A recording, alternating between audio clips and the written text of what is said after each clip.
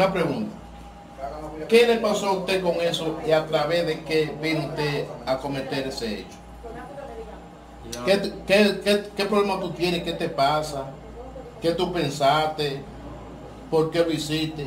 ellos no tenían problema conmigo, problema mío personal, de, de vicio de ¿Qué vicio tú tienes, usa?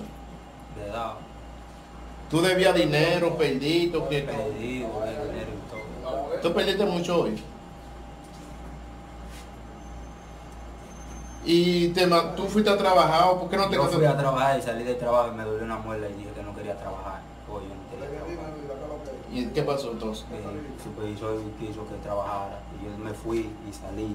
Y dije, no quiero trabajar. Y yo, ven, ven, ven a trabajar. Yo cogí para allá y ya hice lo que hice. Pero tú no pensaste, tú te dio para eso y fuiste y fuiste matando uno a uno así.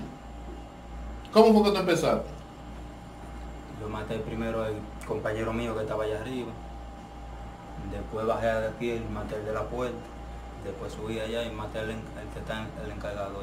¿Pero por qué? Porque es que todo tiene un, un No, sí. no sé, Y hay obediencia, porque Permiso.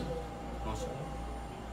Yo había pedido más dinero de ahí y nunca me había metido eso en la cabeza. Sí, porque el hecho es que matar a uno, pero matar a uno y si bueno, voy a matar a todo el que... Porque entonces, si el revólver quizás funciona es una pistola, tú voy a matar a todo el que estaba ahí. No, pero nada mataban a nosotros cuatro. Ustedes cuatro. Su caso lamentable de cuatro, ma- mata a tres.